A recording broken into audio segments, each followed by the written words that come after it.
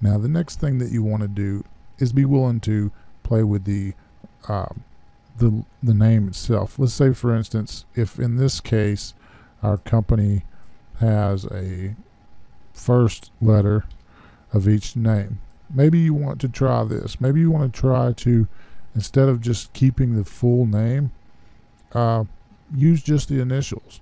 And what you want to do is you want to get these a little bit larger if you're going to do that. That way you can visualize them better.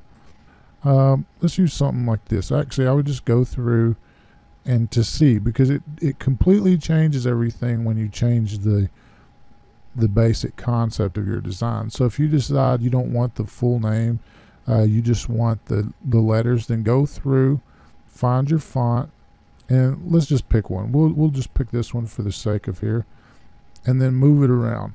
You, you might say, hmm, LD. Uh, you can either do that.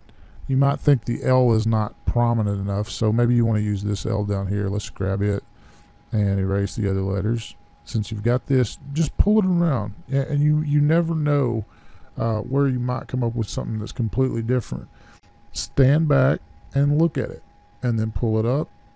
You know, and you you can do this for literally 30 minutes. And sometimes the coolest designs are not what you prefabricate or not what you're trying to get at, but just simply taking a couple of letters and putting them around each other.